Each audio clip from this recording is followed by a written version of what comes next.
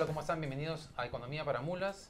El día de hoy vamos a tocar tres temas. El primero de ellos, ayer el presidente Humala anunció en una entrevista que dio después de casi ocho meses a un medio de comunicación eh, que muy pronto eh, iba a anunciar la recuperación del lote 88 del gas de camisea.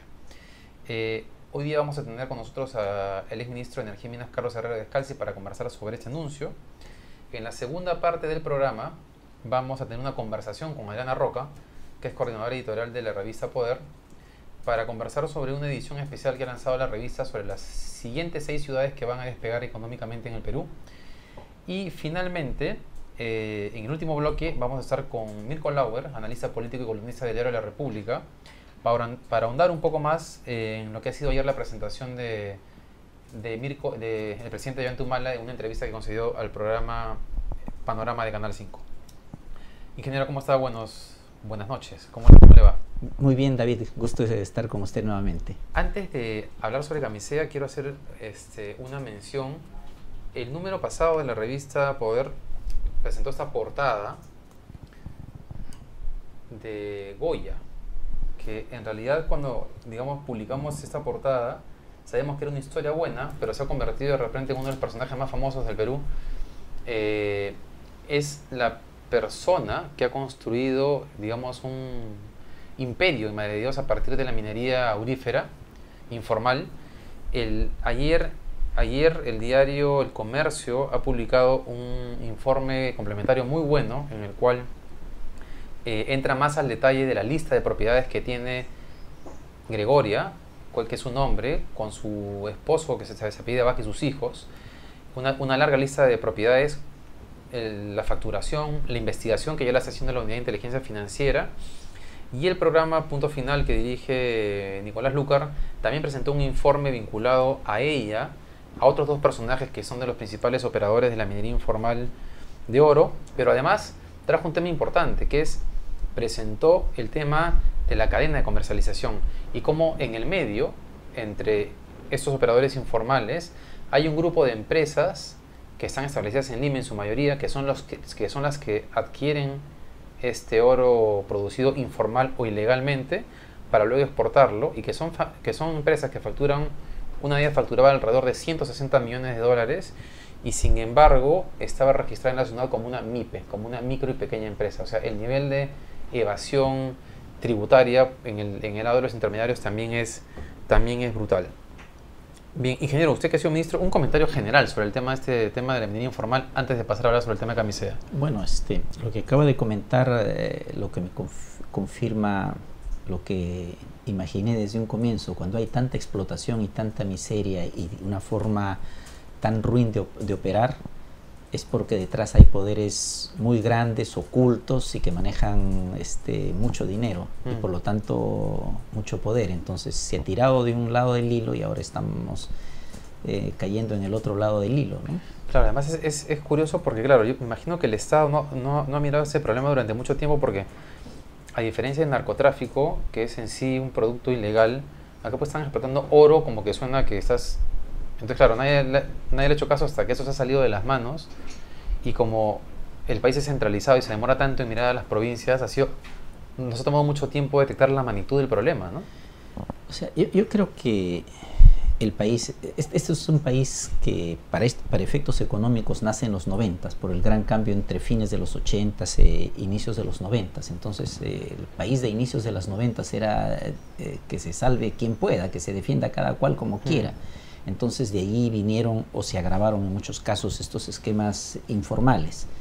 Entonces a gente que se ganaba la vida o que parecía que se ganaba la vida, mejor no tocarle y meterse con otros lados. Mm. Pero evidentemente debe haber gente que sí sabía esto. Entonces, este, no sé, me, me, atrevo a pensar que hay ahí algún silencio comprado, ¿no? Sí.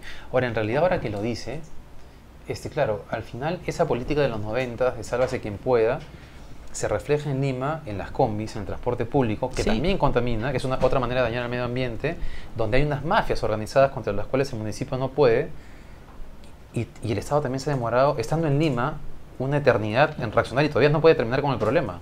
Y claro, y esto, este, claro. Claro, es, el, el, gran proceso es eso. terminamos en una catástrofe económica a fines de, de, los 80 y viene pues este, una solución, amputar miembros en anestesia y sálvese quien pueda, ¿no es cierto? Y cada cual se defiende a como puede. Entonces, temas básicos, fundamentales, las leyes sociales, el medio ambiente, son temas eh, nada eh, contra el problema de qué voy a comer esta noche, qué le voy a dar de comer a mis hijos esta noche. Claro. Entonces, este, allí se han atropellado una serie de reglas. Entonces, recién a partir de ahí el Estado se ha reordenado, se han dado nuevas reglas, se ha creado nueva riqueza y recién con esa riqueza, con esa capacidad el Estado puede acudir a, resolver problemas básicos, ¿no? que todavía no han terminado. Este es uno de ellos. Ingeniero, una pregunta final sobre ese tema porque siempre me da curiosidad. Eh, además, como, como parte de ese discurso de los 90, se estableció esta idea que sigue vigente esta hora de que hay que achicar el Estado. Hay que achicar el Estado. Y cuando uno mira el país, tú más bien sientes que falta Estado en todos lados. Sí. De la Contraloría, reguladores, Indecopi, acá falta Estado y sin embargo hay gente que sigue diciendo hay que achicar el Estado. Entonces, ¿usted que ha estado dentro del Estado, en verdad hay que achicar el Estado o estamos más bien...? No, yo creo que hay que rediseñar el Estado.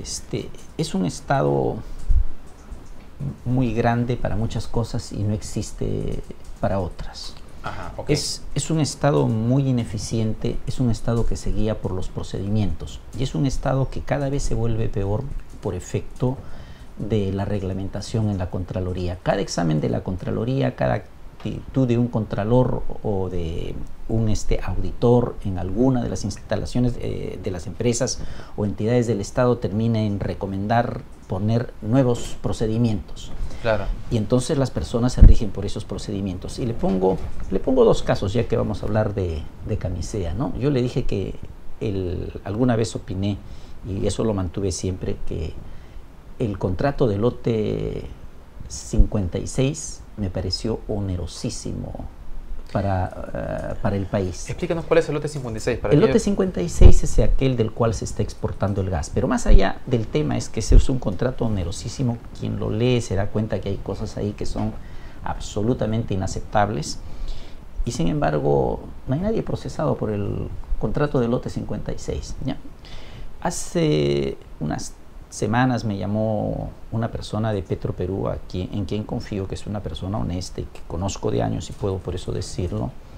Y él estaba preocupado porque otra persona de Petro Perú, de quien me dijo que era una persona este, también honesta, competente, conocedora y además es conocida por tal dentro de Petro Perú, había sido condenada a tres años de prisión efectiva por un tema de combustibles.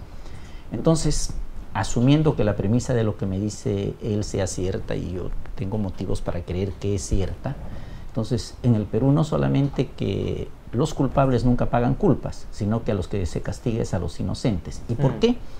Por la telaraña de procedimientos que existen como medio de juzgar los resultados. Entonces a las personas no las juzgan por su resultado, la juzgan por si siguió o no el procedimiento. O sea, el lote 56 siguió el procedimiento, todos felices, nadie tiene nada que responder. Otras cosas que quizás no, no siguieron el procedimiento, este, sí, esas sí son pasibles de, de, ser este, investigadas. Yo creo que el diseño del Estado, la concepción de cómo actúa el Estado, ese es este, el tema, el, tema, de fondo y eso es que paraliza a la administración pública. Entonces las personas lo que saben es que quien no hace no es culpable de nada, quien hace corre el riesgo de ser encontrado culpable de algo, entonces preferentemente no hacen nada. Ahora, todos los puestos se llenan. ¿Por cuántos sitios hemos pasado donde hay muchísimos sellos de más? Sello acá, sello allá, y cada sello es una persona, ¿no es cierto? Pero hay lugares donde el Estado no puede estar. ¿Por qué no puede estar el Estado en lugares como Madre de Dios, como San Martín y como muchos otros que hay en el país? Porque no tiene la capacidad económica para estar allí. Mm. Es, es, es, esa es la realidad. Entonces los sitios donde el Estado ha perdido control no ha sido ni por descuido ni por nada, sino ha sido por este falta de recursos. Mm, pero es un tema de... Pero en, términos de proceso, nos quedan tres minutos para la pausa, así que voy a cerrar con este tema para luego pasar el video del presidente Humala anunciando de camisea y entrar en el segundo bloque ya más en detalle. Porque claro, porque si uno mira eh, las personas que están esperando que el Estado llegue. Un proceso de reingeniería toma tiempo. Entonces, pero en el corto plazo hay que llevar el Estado. O sea, que si en el corto plazo hay que hacerlo crecer un poco, hay, yo, pues hay que hacerlo por un tema de estabilidad No hay que tener problemas de conciencia por eso, ¿no? Claro, bueno, pero hay que llevarlo donde se necesita. claro, el tema es hay que llevarlo donde se necesita y no, crear, y no crear el, eh, más elefantes, no crear digamos. tantos elefantes que existen en, todos en todas partes, ¿no? Que aburren. Mm, claro. Bien, vamos a, antes de, pasar el, el, video y, y ir a la pausa, explíquenle un poquito a quienes nos ven el tema del lote 88 y 50. O sea, la parte más básica, digamos, de el proyecto Camisea, el proyecto de exportación, ¿dónde está ubicado? así en los términos grandes, ¿ya? En energía el débil del Perú es que depende demasiado del petróleo. Somos un importador de petróleo. El riesgo es que sigamos siéndolo por mucho tiempo, a menos que el destino cambie. Y es un combustible que cada vez va a ser más caro y nos va a traer problemas. ¿Qué teníamos que hacer? Cambiarlo por lo que teníamos. ¿Qué teníamos? Gas. Entonces el proceso de camisea es la puesta en valor de una fuente de energía, el gas natural, para que sustituya al petróleo. Pero esa claridad parece mentira, no ha existido en todos los casos. Entonces nace camisea y el primer problema de camisea es que en lugar de sustituir al petróleo, en el transporte, en la industria, en otros lados se dirige prioritariamente al sector eléctrico para sustituir a las hidroeléctricas y termina eh, declarándose una moratoria Claro, se saca una norma para, prohibir, para frenar la construcción de centrales hidroeléctricas en el corto con plazo. derechos que se habían dado. E incentivar la demanda de gas para producir energía con gas. Ya, sin entender que Camisea tenía dos productos líquidos que por sí solos pagaban el proyecto y gas, que era la gran riqueza y la que se podía tener a precio barato y ser el sustituto. Gas líquido y lo que es el GNV propiamente dicho, gas natural. Lo que le llaman gas, si GNV es gas natural vehicular, gas natural ah, nada más. Ok, gas natural, ok. GN nada más, ¿ya? Entonces partimos así de camisea. Entonces, pero nos estábamos embarcando en una tarea colosal, una tarea de 20 años, entonces había que tener unos pulmones bien grandes. ¿Esa ya es eso que usted menciona, ¿de qué lote salía? Estaban estábamos hablando de dos lotes descubiertos por la Shell, el 88 y el 56.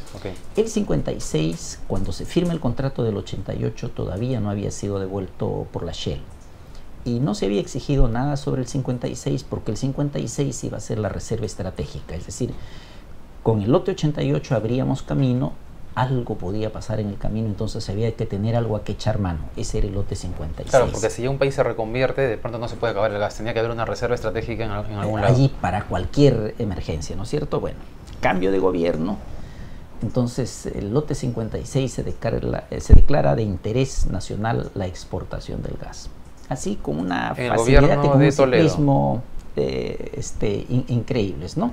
Entre el 2002 y el 2006. Y al final se hace una pantomima de eh, concurso para otorgar el lote 56 y en la práctica termina siendo entregado a dedo. Qué bien bajo tierra en el lote 56 a precios de esos momentos 18 mil millones de dólares, es decir, es decir 18 mil millones de dólares entregados a dedo. Por ahí comienza la cosa. Y en unas condiciones donde el proyecto de exportación y las condiciones de la regalía que recibiría el país hacían que todo el riesgo estuviera en el país. este, Entonces el 56 va, iba a la exportación y el 88 era mercado interno. Al comienzo se trata de que el 88 vaya a la exportación yo había firmado como ministro de Valentín Paniagua los contratos de camisea, entonces era mi deber moral decir por qué no se podía, y lo dije, ¿no? Y entonces esto desató una polémica respecto al lote 88, donde en un lado estaba yo y en el otro todos los demás. O sea, la intención era que fuese el 88 el que fuese exportado. Al, al, final se dijo ya, el 88 se queda para el Perú y el 56 se exporta. Entonces se da el lote 56 en concesión y se arma un proyecto de exportación pero el que compre el gas al otro lado dice yo quiero tener reservas probadas para todo lo que me van a vender. Yo entiendo que inicialmente el proyecto de exportación iba a ser de un menor tamaño y bastaba el 56, pero lo agranda. Y entonces le dan reservas del lote 88. Y ahí viene un segundo punto bastante turbio. Ese segundo punto bastante turbio es que el Estado, gente del Estado que de repente ahora está de vuelta, lo que hace es disminuye la demanda, o sea, la, proyección de la demanda la chica y aumenta la reserva, como para que haya suficiente para la exportación y sobre esa base cambian los contratos del lote 88 y parte del lote 88, 2,5 TCF, se dedican a la exportación. A la exportación. Sobre ese tema vamos a volver porque quiero andar sobre ese tema. Es el tema de cómo comienza todo esto, porque ahí hubo una serie de irregularidades que en otro país del mundo hubiesen llevado gente a la cárcel y aquí en el Perú no ha pasado absolutamente nada. Vamos a ir a la pausa y volvemos con el video y con la conversación. Yo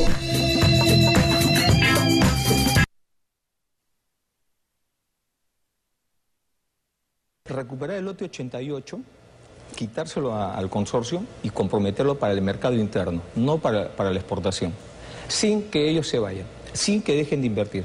En segundo lugar, hemos logrado eh, que el Congreso apruebe una ley de masificación del gas y la creación de un fondo de solidaridad para la gente más pobre que hoy día está pagando 30 o 35 soles por un balón de gas doméstico.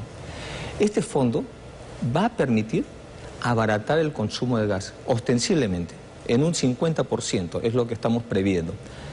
Todo esto se está haciendo tal vez silenciosamente, pero de manera firme, porque esa es la voluntad y esa es mi decisión que he impuesto en el Consejo de Ministros y en eso están los, ministros comprometidos. Vamos al y, tema. y algo más quiero decir. En este esquema, en este esquema de, de trabajo, estamos consolidando una empresa nacional, que es Petroperú, no, no como una empresa de segunda o tercera categoría, va como socio principal en este, en este proyecto para lograr en poco tiempo que Petroperú sea una empresa de carácter internacional, que pueda competir en los mercados internacionales.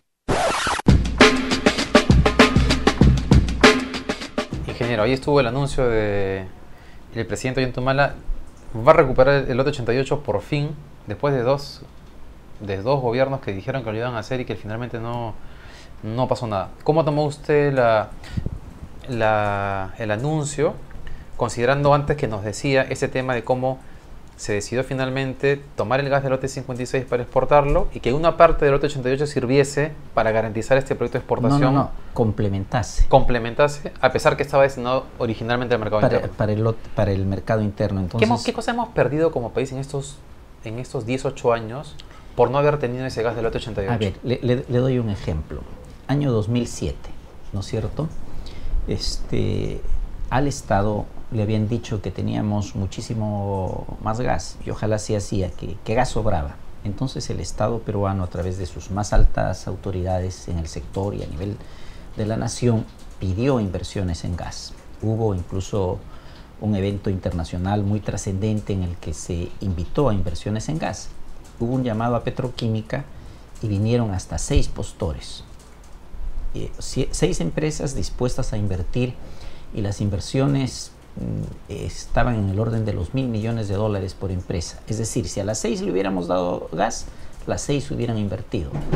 Pero dijeron que no se podía darles a las seis, que solamente se podía una determinada cantidad. Eso era un clarinazo, era una alarma clarísima de que no había tantísimo gas. Hace cinco años. Estamos hablando de hace cinco años, ¿cierto? Ese cinco años en los que han venido diciendo, no, si hay gas, el problema no es que falte gas y todo el tema. O, falta transporte. siempre hay un juego de esa naturaleza. Entonces, pero estas empresas iban a tomarse el tiempo necesario para que hubiera transporte y todo. Total, de las seis empresas le dieron a uno, a una quedó una segunda a la que le ofrecieron la mitad de lo que pedía. Esta segunda empresa aceptó, pero se fatigó con las esperas, idas, vueltas y se cansaron de gastar y dejaron en nada. Quedó solamente la primera. Y de la primera de ellas, que yo sepa en todo el tiempo que ha pasado, ni siquiera se ha puesto la primera piedra. Entonces la pregunta sería, ¿por qué? A esto le agregamos el caso de una empresa distribuidora eh, de gas para la región de Ica que ganó un, concurso que se hizo una licitación, eh, ganó este, la concesión, esto fue durante el gobierno anterior y ya debería estar operando en estos momentos en una extensión bastante grande. ¿Por qué no lo hizo? Porque tampoco le dieron el gas. Entonces, siempre era la, la, respuesta, no, lo que falta es el transporte, el problema es la capacidad de transporte, pero el hecho es que han pasado años. Le pongo un tercer ejemplo. Hay una central termoeléctrica que se inauguró y el día de la inauguración, este, el gerente de la empresa tuvo que decir, estando el presidente de la República allí en el acto, que estaban operando con gas prestadito que les había dado cálida porque no tenían contratos de gas. Y habían, se habían lanzado a la inversión porque lo último que pensaron que iba a faltar en el Perú era gas y sin embargo no lo recibieron y no sé si hoy lo tenga todavía, creo que todavía no lo tiene. Y tenemos ahorita mismo dos empresas que están en cola, estas ya por el tema de transporte. O sea que en este momento, si es que no se hubiese hecho ese contrato, que fue hecho con mentiras además, o si se hubiese logrado renegociar esto antes, en ese momento podría haber en el sur del país una industria petroquímica o desarrollada o en camino de, desarrollarse. O sea, esos dos, esa cantidad que se comprometió, esos 4.2, porque son tanto los del lote 56 que tenían las mismas condiciones del lote 88, es decir, fueron reservas probadas encontradas por la Shell. Y Perú Petro le dio el tratamiento como si fuera inversión de riesgo donde iban a ver si es que existía o no hidrocarburos. Uno le puede dar a dedo a alguien, eh, eso permite hacerlo la ley en el caso de Perú Petro cuando se trata de exploración, es decir, no se tiene la certeza de si hay o no hay por eso existe el riesgo, pero cuando es explotación no se puede dar a dedo, menos en esas condiciones.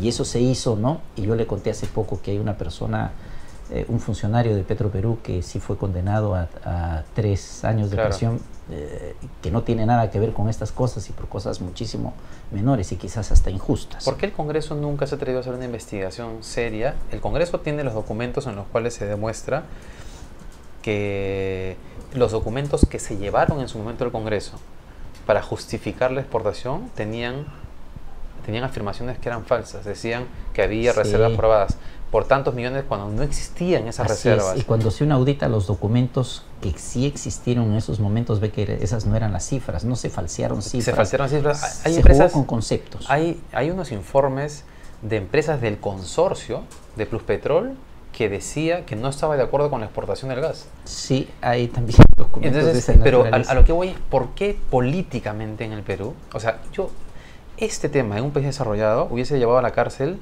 a mucha gente. ¿Por qué en el Perú no pasa nada? ¿Qué le parece si miramos la portada que tiene? verdad, pasa por todos lados, disculpen. Esa es la respuesta. Sí, pero es que en sí pues, pero es que digamos, esto ha pasado en un lugar de Madre de Dios alejado de repente pero esto ha pasado aquí en el, o sea, en el Congreso. Hay gente que ha levantado la voz mucho, no voy a decir nombres, y que a la hora de la hora de, promover algo, ha dicho ya mejor no hagamos nada, hay que dejarlo por ahí nomás. Han, han, habido comisiones que se han hecho que nunca han terminado. Han habido discursos como el del presidente García. Eh, este fue el discurso del 2009, me parece, ¿no? Cuando habla sobre camisea, valdría la pena, si no es el del 2009, es el, no, es el del 2009, fue el, penúltimo que tuvo, ¿no? donde tiene eh, conceptos clarísimos sobre el tema, pero nunca le pasó nada a nadie.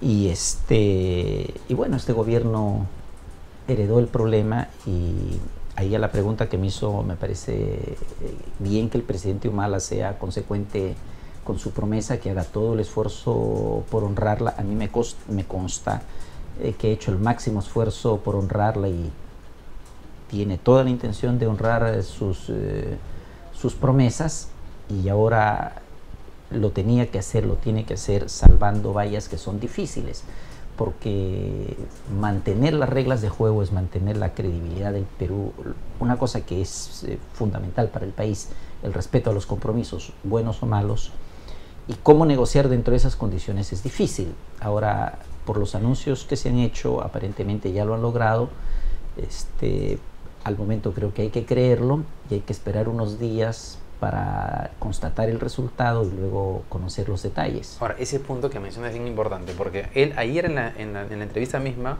cuando habla sobre, la realidad minera, dice, hemos hecho el tema de la realidad minera, lo hemos logrado sin imposición, negociando.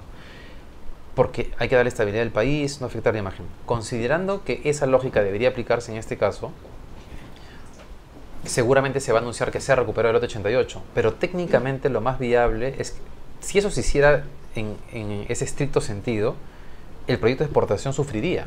Entonces debe, haber en realidad un esquema intermedio que se ha encontrado. Claro, lo, que le puedo decir es que ambas cosas se hicieron así porque me tocaron a mí, o sea, la, la, renegociación minera me tocó a mí, ¿no es cierto? Y la renegociación de camisea me tocó a mí y yo fui quien les dije al presidente y le pedí al presidente que lo hagamos en la forma que él ahora lo está anunciando porque era la, la mejor forma de hacerlo y tenemos, teníamos allí este, argumentos para empujar eh, los, eh, los resultados. Ahora, ¿qué es lo difícil de esto? ¿ya? ¿En, qué nos estrellamos? Este, hay una inversión de 3.800 millones de dólares.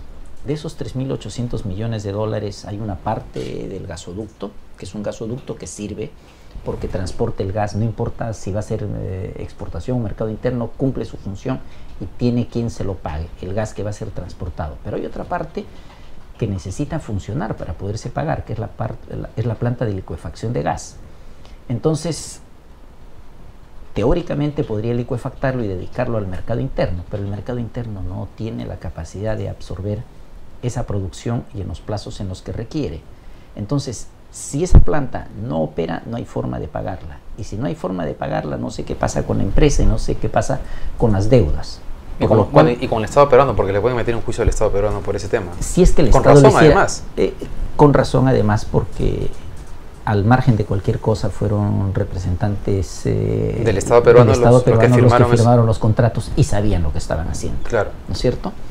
Entonces, este, pero este, escuché en las declaraciones del presidente también que el respeto a los compromisos, etcétera, etcétera. O sea, esto no es a la mala y me parece bien eh, esa, parte del anuncio. Lo que yo no entiendo, lo que me es difícil encontrarle una explicación y por eso habrá que aguardar las explicaciones, es la forma en la que se ha logrado que sin que el gas pase por la planta de Melchorita, Melchorita se pueda apagar. ¿no? Entonces, eh, no es una solución que desmonten a Melchorita y se la lleven a otro lugar. No, claro, eso no es claro. Eh, eso, eso, no afectaría, eso afectaría la imagen del país en este momento de manera importante. O sea, si se hace a la mala, Sí. Claro. Pero si se hace por acuerdo de partes, eh, no veo por qué. Entonces habría que ver cuáles son las condiciones para ese acuerdo de partes. Ingeniero, se, nos acabó el tiempo. Una respuesta rápida. El presidente habló, habló a raíz de, este, de esta recuperación de, de bajar nuevamente el precio de los combustibles hay una equivocación. ¿Qué cosa pasa ahí? O del GLP en particular, pero creo que ya se había anunciado una reducción de 5 soles con anterioridad. Sí, creo que hay un error en la precisión de los términos. Creo que unos términos se están refiriendo al gas natural y otros términos se están ah, refiriendo al, GLP. A los dos les está llamando gas y por eso la confusión de los claro, términos. O sea, se debe referir al, gas natural en la realidad. Eh, o sea, yo no creo que el gas natural se pueda bajar más. Hoy día... Es barato.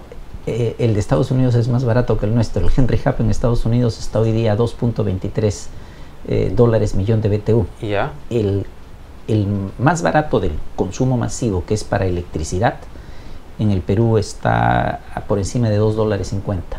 O sea que se podría bajar algo ese. Este, no, porque es de esos 2 dólares 50 y un dólar 50 que es en selva y 50 dólares y un dólar que es transporte hasta Lima. o sea, para efectos del mercado donde se consume lo que sería el equivalente a un Henry Hub, no en boca de pozo, sino en el sitio donde van a estar entonces, los consumidores. entonces, ¿qué se podría bajar? ¿El gas? El gas yo, yo creo que, yo creo que el intento es bajar el precio del GLP. Ya. Y ahí creo que hay un error en el tema de la masificación del gas. Hay, hay conceptos en colisión. Mi ingeniero, yo le quiero comprometer, si es que se puede, como en estos días, se si se sabe en la semana cuál es el acuerdo final, el próximo lunes que nos acompaña para que nos explique el acuerdo. Sí, con mucho gusto. Muchas gracias por haber estado mucho gusto. Gracias. Vamos a una pausa y volvemos para hablar de el especial de poder sobre las seis ciudades que van a despegar en el Perú. Volvemos. Muchas gracias.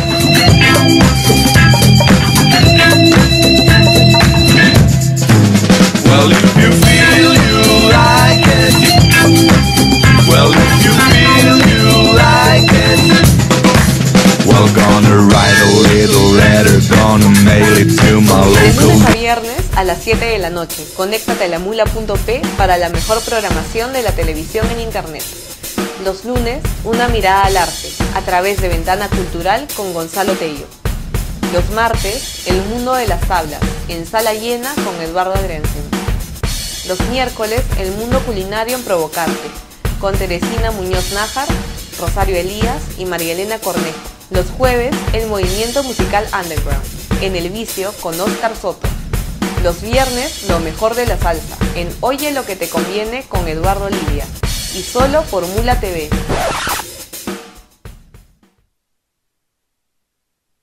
De lunes a viernes a las 8 de la noche, conéctate a la mula.p para la mejor programación de la televisión en internet. Los lunes, un repaso a la semana en Pasando Revista con José Alejandro Godoy. Los martes, Internet en la actualidad. Código Abierto con Jorge Bocio y Rolando Toledo. Los miércoles, los chismes del mundo del espectáculo y la farándula en Entrometida, con Patricia Salinas y Maritza Chino. Los jueves, un programa sobre programación, es Web con Antonio Ognio y Germán Martínez. Los viernes, amenas conversaciones con los más variados invitados, conversando con Manuel Escorza, y solo por Mula TV.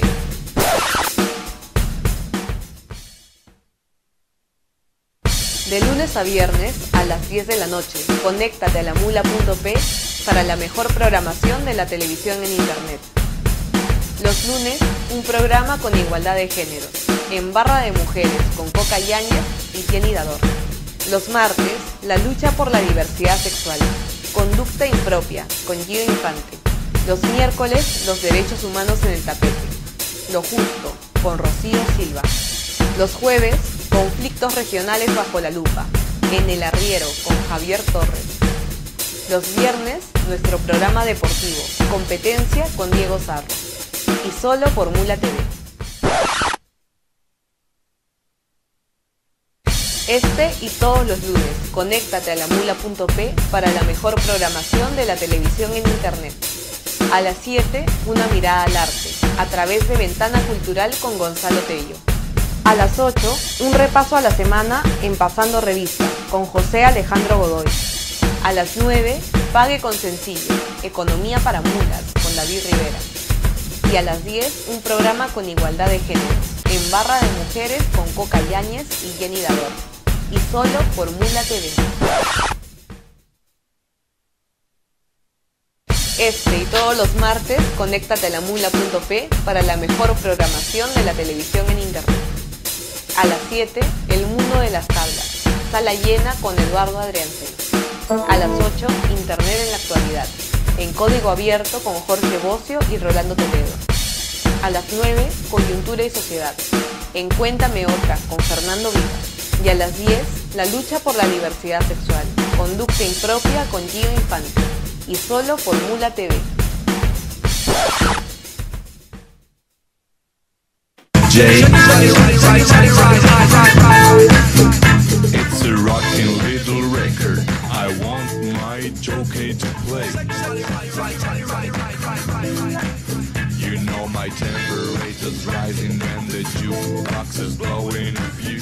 Bien.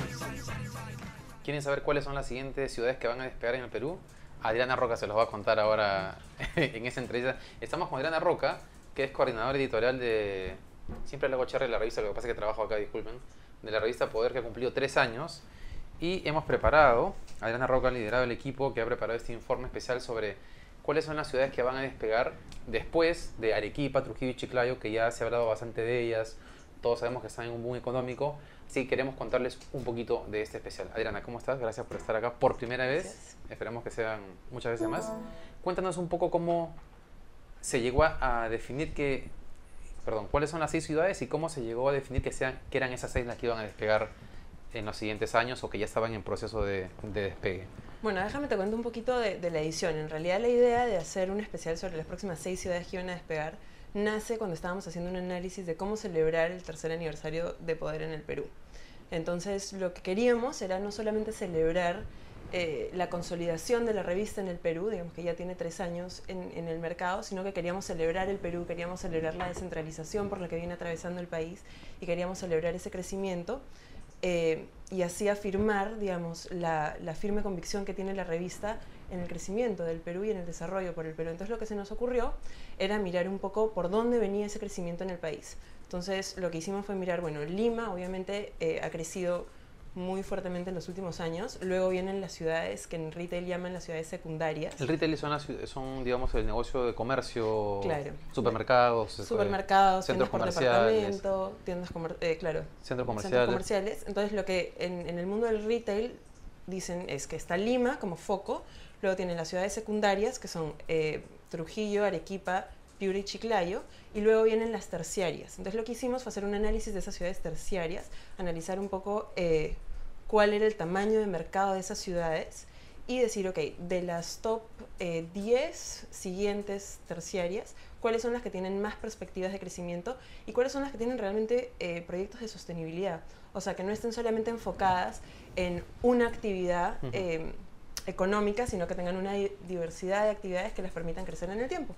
Entonces lo que encontramos es que las seis ciudades eran eh, Chimbote, Ica, eh, Sullana, eh, Tacna, Tacna y Huancayo. Huancayo y, Y Cusco. y Cusco. Y Cusco. Entonces esas eran las seis que Cusco fue la sorpresa como al final que apareció ahí, ¿no? Es, así es. Que fue interesante. Sí, porque digamos, Cusco la teníamos un poco eh, casi olvidada. Habíamos visto, previsto que era Iquitos la que iba a entrar en vez de Cusco, pero en realidad Cusco tiene eh, muchas más posibilidades de crecer porque tiene un mercado más grande, más dinámico y no está tan aislada como está Iquitos. Iquitos, ¿no? claro, que Iquitos el, el principal problema era, era- es, es, eh, como tú dices, el aislamiento de...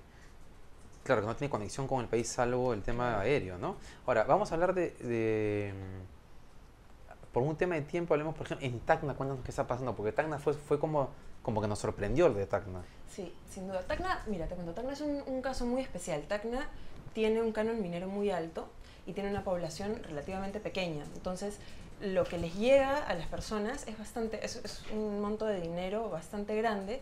Entonces, eso permite que haya bastante riqueza. Ujú. Es el tema de que, o sea, como que el- la, la obra de inversión pública que se ejecuta, por más que el gobierno regional sea ineficiente, se siente más que en un departamento que es mucho más Claro, grande. exacto. Ujú. Está mucho más concentrado Está en mucho un espacio pequeño y en una población más pequeña que en otros departamentos con poblaciones más grandes y una geografía más grande. Ujú, Entonces genera riqueza en, bueno, en el bolsillo de la gente por las horas de, Claro. por las públicas, etcétera. Y luego tienes dos temas centrales. Uno, evidentemente, es la minería. ¿no? Tienes varios proyectos mineros grandes. Eh, uno es el de los Brescia, que está desarrollando, digamos, cerca de la frontera con Chile. Luego tienes eh, todos los proyectos de Southern. Eh, en Moquegua también tienes varios que, comparten, digamos, eh, temas geográficos con Tacna. Y luego tienes un, tema muy curioso que es la llegada de muchos chilenos digamos, a Tacna. Vienen a usar cualquier cantidad de servicios y eso ha dinamizado la economía de una manera impresionante.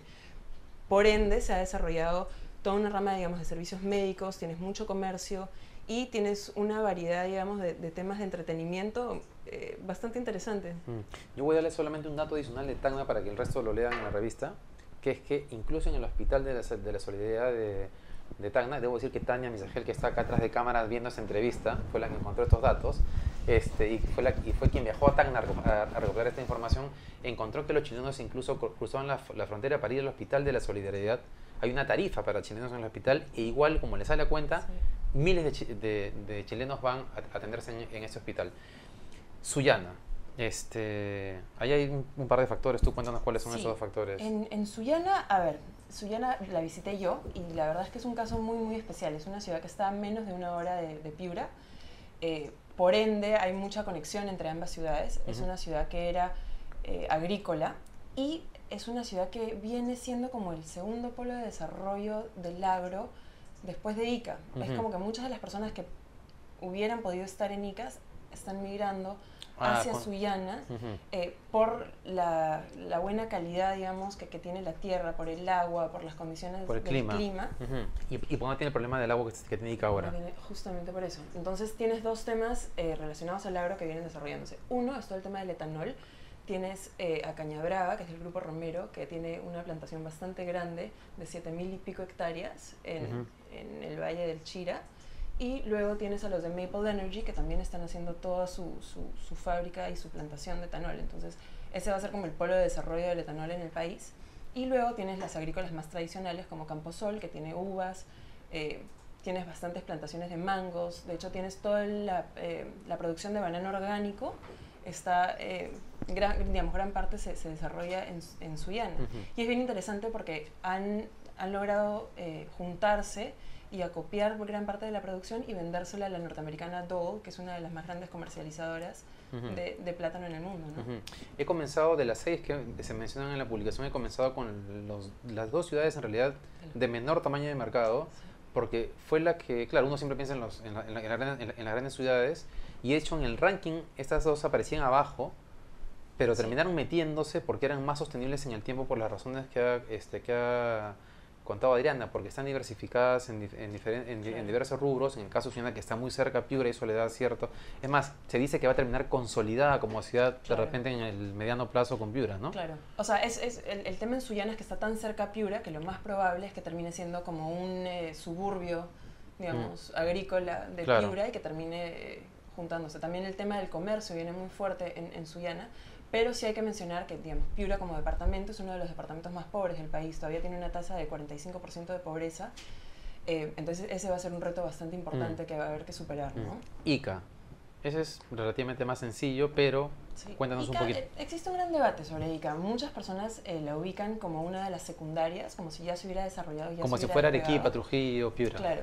Sin embargo, eh, yo creo que no. Digamos, yo creo que todavía está dentro de las terciarias porque tiene un tema de crecimiento caótico, que de hecho lo comparten todas las ciudades. Ese es como un factor común Mm. en, en el crecimiento de todas. Todas han tenido un crecimiento abrupto, rápido, desordenado. Entonces eso, eso ha- obviamente ha tenido impactos en que no existe orden, digamos, vehicular, no hay transporte público eh, ordenado, existe en todas las ciudades un eh, desborde de mototaxis que es impresionante, ¿no? Eh, y bueno, ICA es, es uno de los casos Mm. eh, de este crecimiento desordenado, ¿no? Y, y- y estaba el tema además que eh, Ica, a diferencia de las demás ciudades principales o secundarias como le llaman, está recién consolidando la infraestructura principal de que debe tener toda ciudad. Me refiero a aeropuerto, un puerto, Claro. una carretera que de acceso relativamente rápido. Claro. El aeropuerto ya, el aeropuerto estaba por no el, ya. el aeropuerto, de hecho, está en Pisco. Está en Pisco. Eh, la, la concesión la tiene Aeropuertos del Perú. Es, es uno de estos... eh, No, no sigue, sigue, sigue. Es un aeropuerto que, que, que en realidad va a recibir vuelos internacionales. Luego tienes eh, dos concesiones portuarias por concesionarse, volver a la redundancia. Una es el del puerto de Pisco y la otra es en Marcona.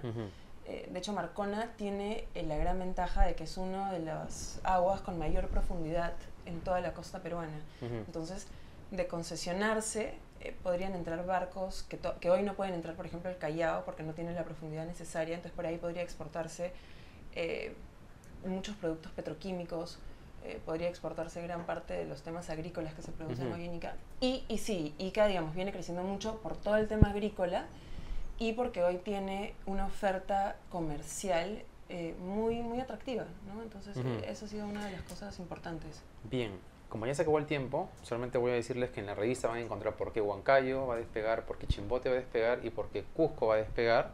Pero además hay al final de la publicación cuatro ciudades que deberían despegar, a ver si me acuerdo, que son Loreto, que ya hablamos que tiene un problema de infraestructura, que son Huánuco, que puede ser una ciudad que dé la sorpresa, lean la revista por qué, eh, eh, Cajamarca, que ya sabemos el problema que tiene, que es el tema del conflicto social, pero debería ser una ciudad que despegue, y se me da una, Juliaca.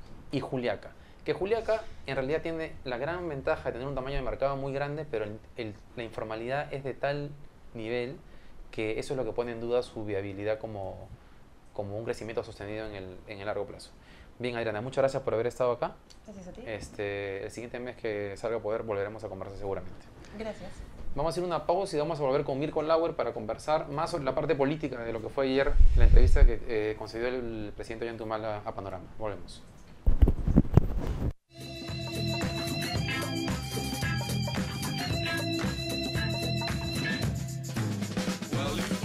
Y todos los jueves, conéctate a la mula.p para la mejor programación de la televisión en Internet. A las 7, el movimiento musical Underground, en el vicio con Oscar Soto. A las 8, un programa de programación, es Web Inc., con Antonio Ognio y Germán Martínez. A las 9, una mirada alucinante de la realidad. Después de todo, con Pedro Salinas. Y a las 10, conflictos regionales bajo la lupa. En el arriero con Javier Torres. Y solo por Mula TV.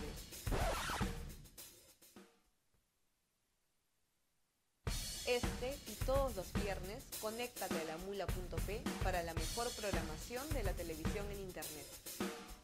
A las 7, lo mejor de la salsa, en Oye lo que te conviene con Eduardo Lilla. A las 8, amenas conversaciones con los más variados invitados. Conversando con Manuel Escorza. A las 9, un repaso a la semana en Pasando Revista, con José Alejandro Godoy. Y a las 10, nuestro programa deportivo Competencia, con Diego Sarro. Y solo por Mula TV.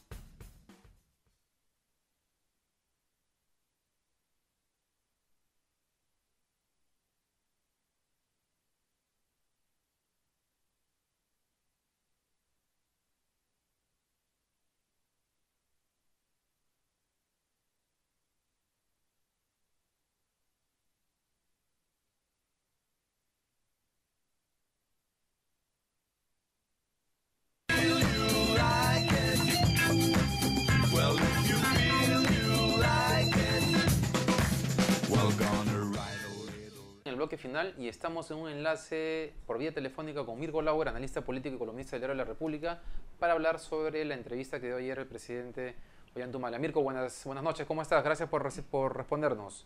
Buenas noches, David. ¿Qué dices? Bien, quería pedirte primero tu apreciación general de lo que fue ayer la entrevista, porque el presidente habla poco, o pocas veces da entrevista por lo menos, y quería saber, queríamos saber tu opinión sobre qué pensabas en términos generales, globales, eh, eh, cuál era tu apreciación sobre cómo había sido esta entrevista, qué impacto va a tener eh, para, el, para el público en general.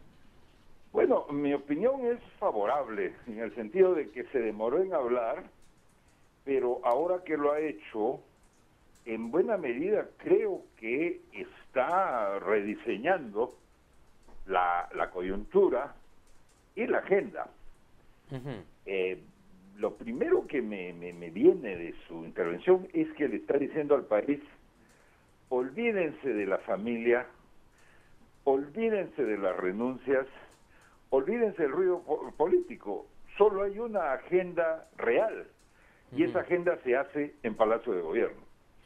Mi sensación es que esto es reconfortante para un público, ¿no es cierto? Porque la otra agenda, ¿no es cierto? Que es la agenda del periodismo, ya te pesqué más o menos. Eh, esa agenda no hace sino intranquilizar y no tiene otro destino que demostrar las virtudes del que la maneja. En cambio, Humala ha hablado de energía, de gas, ha hablado sobre Conga, definitivamente viene implícito de que se va a buscar una salida eh, positiva para Conga, ¿no es cierto? Ha hablado de una serie de cosas que en el fondo son bastante más interesantes para la marcha del país. Claro, de, de hecho, de hecho, Rosana Cueva en algún momento le dice, y ese era el siguiente tema que quería plantearte, presidente, ya veo que usted ha, ha aprendido bastante de sus clases de comunicación porque me está metiendo temas que usted quiere decir y no responden las preguntas. Y esa era como la, como la estrategia de- de- del presidente Humala durante toda la entrevista, poner sus temas.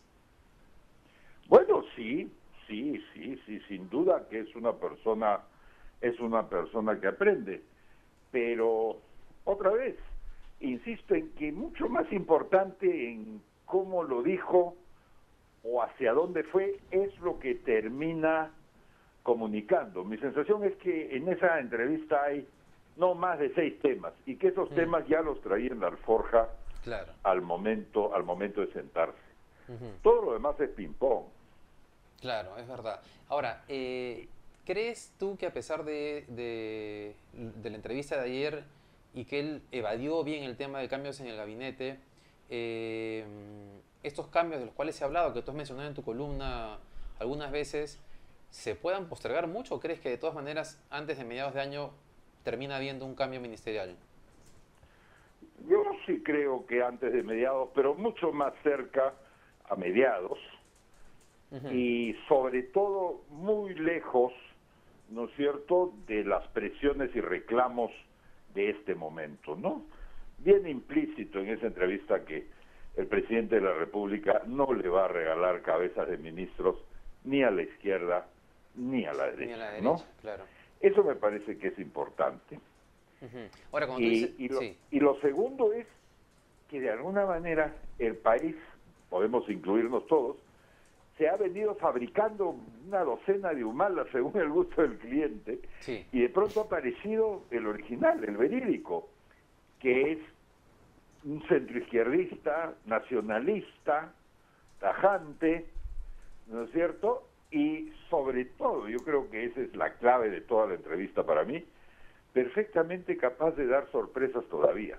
Quienes creían que ya lo tenían metido en alguna bolsa, creo que se equivocaron. Claro, porque claro, este tema de camisea, lo de Petroperú, son temas que terminan descolocando eh, eh, eh, a la derecha, pero a la vez el tema de una regalía minera negociada intermediamente, terminan descolocando a la izquierda. Entonces todo el mundo anda como medio descolocado respecto a dónde va este gobierno, digamos, todos los extremos, digamos, de alguna manera. Sí, sí, bueno, y, y una parte del medio. Los únicos que han quedado bien colocados son los administradores, a quienes se les ha dicho el trabajo, la gestión continúa, ¿no es cierto? Sí, efectivamente. Ahora, ¿tú crees que, o sea, Humala, digamos, en estas 12 versiones, en realidad, Humala mismo está encontrando un punto medio, creo, él, él- él- solo, pero parece que ya se ubicó donde quiere estar, ¿no? ¿Tú crees Sí, que ya se o ubicó él? O sea, que él ya sabe el punto en el cual quiere estar. Si ese es el punto, si ha llegado al punto donde quiere estar. Sí, en el sentido este político, si eres centroizquierda, si estás a la derecha, o sea, esta discusión que ha habido desde que, desde, desde que él comenzó el gobierno, ¿no? Como que él, o por lo menos desde fuera se le interpretaba como alguien que iba de un lado para otro porque no sabía lo que quería. Bueno, sí, el presidente, ¿en qué punto le gusta estar un presidente? En un punto donde la gente con la que trabaja, ¿no es cierto?, le debe la vida y él es el que decide por su marcha, en un punto donde sus críticos no logran adelantarse a sus movidas y donde él puede estar una movida por delante de ellos, y en un punto donde el gran público no lo critica, digamos, le da una aprobación necesaria. Esas tres cosas las tiene en este momento Mm, y, y en esa medida debe ser pues un presidente feliz. mm. Un tema sobre, sobre Antauro, ya sé que es un tema de coyuntura, que no son de, los de fondo, pero igual hoy día en la mañana los comentarios han ido por ese lado en torno a la entrevista. Eh, ¿Es posible creerle, creer lo que él afirma, el presidente, en el sentido de que él no sabía nada de lo que estaba pasando con su hermano? ¿Tú cómo ves ese, ese tema en, particular? Yo creo que, yo le creo en un sentido político, quiero decir que de pronto hay un tema práctico, que le pueden llegar rumores, chismes, oye, el Antauro es un fumón o lo que sea, pero que en términos estrictamente políticos, de estar siguiendo qué hace con, con el, la intención de actuar en consecuencia, yo, yo creo que no, no. Yo, yo creo que además sus declaraciones han transmitido con buenos modales lo harto que está, ¿no es cierto?, de su hermano y, y- y- y del compinche papá, ¿no es cierto?, que tiene el hermano. Claro. Y les ha dicho, yo primero soy presidente en estas circunstancias y después soy pariente, ¿no? Claro, pero de repente él no ordena, pero hoy día Augusto Álvarez Rodríguez ponía el ejemplo al revés. Sí, yo diría que la única parte que le debe preocupar de Antauro Humala a- al presidente es que Antauro Humala se ha convertido en un instrumento, claro instrumento de la extrema derecha, ¿no? Cuando uno mira los titulares de hoy lunes, uno ve, hay cuatro periódicos claramente del lado de Humala y su discurso, mm, y hay tres periódicos que son antauristas, que han usado la primera plana de un antauro fumón, digamos, mm, para eh, despintar el discurso de, de Humala, ¿no es cierto? Para decirle tú no manejas la agenda, aquí nosotros vamos a decidir qué cosa es divertido, ¿no? mm. Y eso arranca con la respuesta del 2, eso arranca con todos los periódicos al día siguiente. Mm, interesante esto, eso es. Pero ese Humala no es pues el hermano, ese Humala es un instrumento clarísimo, Mm. que además él mismo es, tengo entendido, quien pasa los datos, los videos, los soplos, todo eso lo administra él. Pero es un instrumento de qué, de quién, de, de él mismo.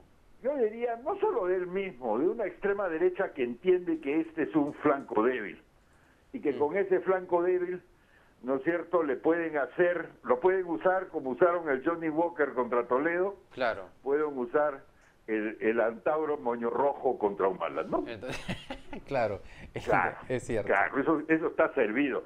Ahora, Antauro debe creer, ¿no es cierto?, que los está manejando a todos, Claro. pero Ahora, además del Antauro Moño Rojo, está el ministro Roncagliolo, que ya desde el inicio del gobierno están que se lo quieren bajar. Este es, la tercer, este es el tercer intento, si no me equivoco, en menos de un año. sí, Y este ha sido sí. con el tema de la fragata. Pero ¿por qué la derecha?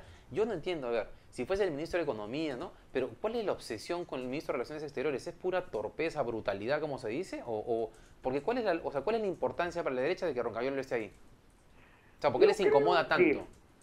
Yo creo que, que por un lado hay una extrema derecha que no le gusta la presencia de un izquierdista, pero que ahí el, el factor más pesado, lo que, el coco sódico, como decían en la propaganda de un detergente, el coco sódico son estos embajadores jubilados, ¿no es cierto? No, rencorosos, Ah. o yaya, que se sienten unos príncipes de la realidad y a los cuales Roncayolo ha despedido, ¿no es cierto? Claro. Mm. No todos corresponden a ese perfil, pero los que se han metido a los periódicos, los que escriben, los que persiguen a los directores de los periódicos, son una tremenda fuerza y no les ha costado mucho pues eh, poner en movimiento, digamos, ¿no es cierto?, a, a, a- a tres, cuatro periódicos contra Mm. Porque eso es todo lo que hay, tres o cuatro periódicos. Claro, que hacen bulla y que después rebotan. Así es, Pero además es. es, es una actitud bien torpe considerando que si, bueno, Alberto Vergara decía en una columna en Poder este, que la derecha no sabe defender ni sus intereses, porque en realidad un periódico de derecha debería estar relativamente contento, ¿no? Con lo que está pasando. Bueno, pero yo diría que la derecha sí sabe defender sus intereses y que aquí hay un espejismo, ¿no es cierto? La gente cree, no sé quién cree, que, que Correo o Expreso o, o La Razón, ¿no es cierto? O, o otro de estos, en realidad representan a una derecha o que representan empresarios o... Mm, En realidad no tienen nada que ver, es verdad. Perú 21, ¿perdón? Perú 21. Perú 21. Bueno, Perú 21 por lo menos es una costilla del, del tórax del diario El Comercio, ¿no es cierto? Entonces está un poco más vinculado. El señor, el señor Dubá sabe cómo es, ¿no es cierto?, la cosa por adentro, pero en los otros casos en realidad son, son, son fantasías, ¿no? Mm. Mirko, una pregunta final para una respuesta breve, además, porque de repente es evidente. Nadine, él como relativizó, no, minimizó, no, pero digamos, trató de decir yo soy el que manda, mi esposa está ahí y me ayuda, Yo pero creo nada más. que sí, que, que es la parte más débil de la entrevista, Mm. porque él ha perdido una magnífica oportunidad Mm, de decir que todo hogar peruano, toda pareja peruana, donde no solo uno de los cónyuges, sino también el otro tiene habilidades para manejar o colaborar con el negocio familiar, debe ser bienvenido. claro. Ahí ¿No perdió una oportunidad, ¿no? Sí, ese era el momento de decirlo. Y además, Pero bueno, eh, esta es una entrevista muy bien asesorada, de pronto han tenido sus, sus propios motivos, ¿no? mm, claro, porque además el Lo público... concreto es que al día siguiente Nadine ha partido a Puno para hacer una, una tarea de una tarea de, de Social. trabajo social, entonces nada, como dicen los gringos, business as usual, los negocios avanzan como siempre en la política. Claro. Bien, Mirko, te agradezco enormemente por esta conexión. Siempre interesante conversar contigo. Ya estaremos Sí, en contacto más adelante. Gracias, ¿ah? hasta luego. Nos vemos. Bien, eso fue todo aquí en Economía para Mulas. Me piden que mire allá. Nos vemos el próximo lunes. Que les vaya bien. It's a rocking little record. De lunes a viernes a las 8 de la noche, conéctate a la mula.p para la mejor programación de la televisión en internet. Los lunes, un repaso a la semana en Pasando Revista con José Alejandro Godoy. Los martes, Internet en la actualidad. Código abierto con Jorge Bocio y Rolando Toledo. Los miércoles, los chismes del mundo del espectáculo y la farándula. En Entrometida, con Patricia Salinas y Maritza Chino. Los jueves, un programa sobre programación. Es Web Inc. con Antonio Ognio y Germán Martínez. Los viernes, amenas conversaciones con los más variados invitados. Conversando con Manuel Escorza. Y solo por Mula TV.